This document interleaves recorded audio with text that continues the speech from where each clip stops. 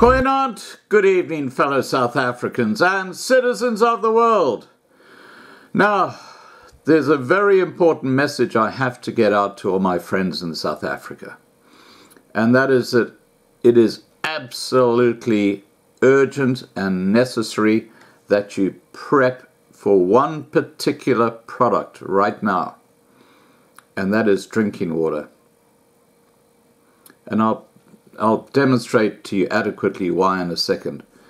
But uh, look, what I used to do when I was concerned about prepping and things like that, if your tap water is good drinking water, buy yourself a bunch of uh, big barrels and just fill them up with that water. Okay? And just have them somewhere safe in a, a, a back room or, or wherever, but just have that drinking water on tap. Let me tell you why. First thing, sewage going into the rivers in South Africa is completely out of control. The municipal, municipalities have completely lost the plot when it comes to controlling sewage. And I'll just give you two examples. And this is happening all over the country. But the first example is in a place called Bonnie Doon and Nahoon and that's at East London. Right on the beach, very popular Christmas spot. Not so much this year, I feel. Beachgoers were outraged when Buffalo City Metro Pump House station failed and the contents of sewers serving the suburbs of Vincent, Berea, Stirling, Bonnie Doon and Nahoon surged into the Ihlanza River mouth across Nahoon Beach and into the sea on Wednesday.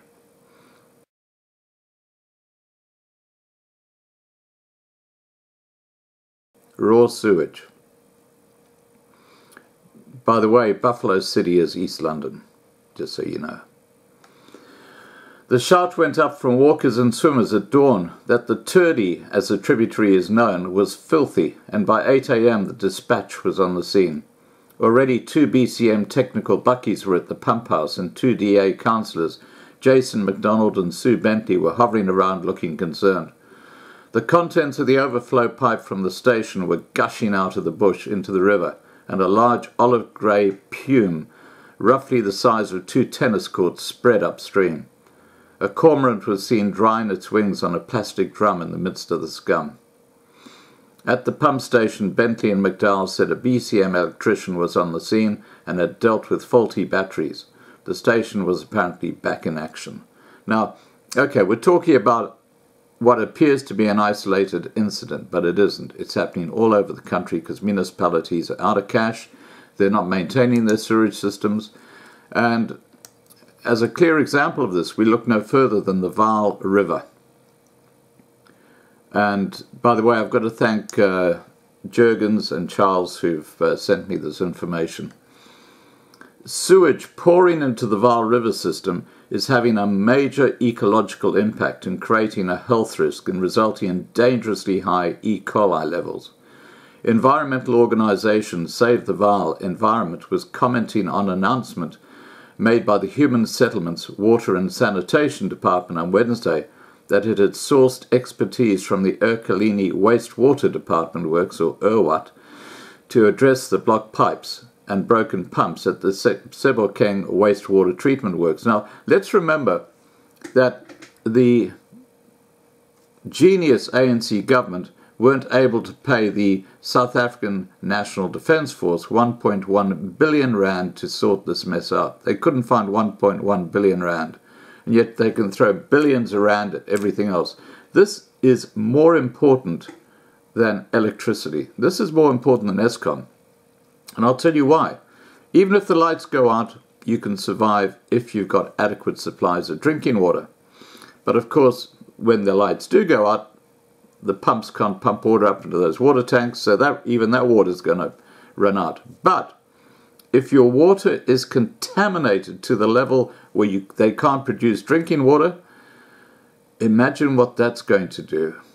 It only takes a few days to die of uh, thirst. You've got millions and millions of people living in the Gauteng area. probably over 20 million people. Huge numbers of people who will be impacted by a complete um, closure of drinking water. It, it, it, it, it would be devastating. Disease would ransack the whole place.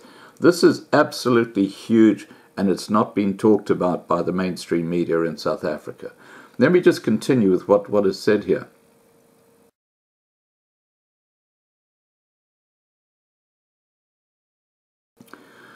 The Sebokeng treatment works previously received 100 megalitres of wastewater a day, but currently only gets 20 megalitres. This means that the plant is not fully operational, and the remaining 80 megalitres of sewage is flowing into the streets, the Veld, and the Vaal River. The department said on Wednesday ERWAT had advertised two tenders which will mainly focus on refurbishing the aging waster treatment works to prevent the ongoing sewage spills into the Vaal. Now, why I have my doubts about this is because this has been going on for months and they've been talking about it for months and nothing has been done. This is where the L factor once again has completely gone missing in action. Save the Vaal Environment spokesperson Maureen Stewart said on Friday that sewage pollution was affecting a number of areas, including Vereeniging and Evaton. She said, in addition, the Rietspruit, a tributary of the Vaal, is receiving most of the raw sewage, which should have been treated at the Sebokeng plant, and the Rietspruit treatment plant is not operating properly, with its effluent not meeting required standards, thus adding to the sewage pollution. Stewart said the end result was an E. coli count running into millions of parts per 100 milliliter of water at the mouth of the Rietspruit, where it enters the Vaal. An E. coli count of 400 parts per 100 milliliter of water is considered a health risk. You get that? Millions of parts per 100 milliliter of water, where just 400 parts per 100 milliliters of water is considered a health risk. This is a complete and utter disaster. Look, if any of my subscribers live in that area, I would love you to go to um, the mouth of the Rietspruit where it enters the Vaal and get some video footage for me that, that we can put up here so people know exactly what's happening. Stewart said pollution of the Vaal River from the Emfuleni local council wastewater treatment had been going on for 15 years. She said it's become a crisis in late 2007 when the Emfuleni waste treatment system, comprising 2,000 kilometers of pipes, 44 pump stations, and three wastewater treatment plants, collapsed. She said, this resulted in a massive pollution of the Vaal River, which is ongoing. It is a pity that the department did not react earlier to prevent this crisis, despite considerable pressure from Save the Vaal. Stewart said the Finance Minister, Tito Mboweni, had announced in October last year when the Defence Force was deployed to help in cleaning the Vaal River system that about 800 million rand would be available to stop the pollution of the Vaal River. She said it was too difficult to know how much had been committed to the project. I guess most of it has just kind of been sucked away by people on the side. Corruption in action. In April, former Minister Gugile Nkwinti said 371 million rand had been allocated for the project. On Wednesday, the department said the figure was 176 million rand. So no one knows how much money has been allocated, but it certainly hasn't been sufficient. Stewart said so many rand figures are bandied around that it's difficult to know what is factual. It was SAVE's understanding that 341 million rand was to be made available in the 2019-2020 financial year.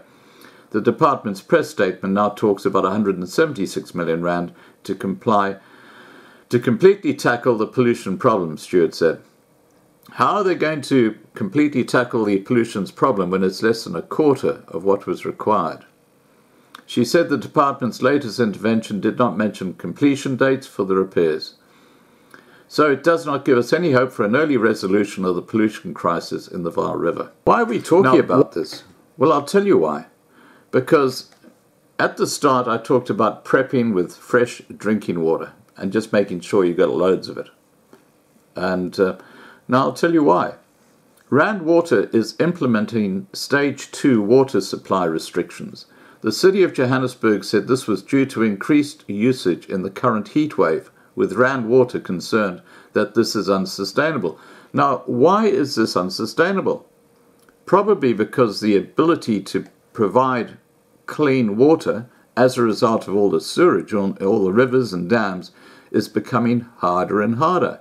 You know, you can't keep on pulling the genie out the bottle when you've got crap water. It just doesn't work. And I, I think there's something going on behind the scenes here. Um, but having said that, Johannesburg confirmed the usage had risen to an alarming rate. Johannesburg Water has begun throttling reserves by between 20% to 40% in line with the restrictions imposed by Rand Water. So while you've got a heat wave coming to Johannesburg, they're now turning off the water taps. This is the very time that you need good, clean water for drinking. Another heat wave is expected this weekend, and the city has appealed to customers to use water sparingly. Rand Water has called a briefing for Friday at which it will share how it intends to address the current water demand issues and the immediate impact on consumers. The city said earlier this week that the Vaal Dam's levels had fallen below 50% for the first time in nearly three years. Around the same time last year, the dam was more than 86% full. Okay, now remember, this is the same Vaal Dam that's full of shit that's coming down these rivers. It is, it is so polluted now, it is extraordinary. And it, it gets worse because um, when we talk about the heat wave, the South African Weather Service, or SAWS, has warned that a heat wave is expected to hit Gauteng this weekend. Forecaster Kumfa Mazizani said temperatures will range between 34 degrees and 36 and possibly even rising to 38 degrees Celsius. Scorching temperatures are also expected over the eastern parts of the northwest and the Free State from Thursday. From Friday, the heat wave will hit Mpumalanga and Limpopo. These conditions are quite common, especially this time of the year, because it's very dry, hot, and windy. Now, if they're quite common at this time of the year, the question is why is Vaal Water having to put in stage two with its water? Why is it having to limit supply? That's a question that should be asked. And there's a very simple reason. That's because the ability to provide good, clean drinking water is getting harder and harder. And it's not just the drought, it's the sewerage in the dams and rivers. That's a reality. You know, that, that's, that is the sad reality of what's happening in South Africa. All right, guys, please remember to subscribe to be kept informed. Ring the bell for the updates. Please like this video. Please share this video. And above all, stay safe.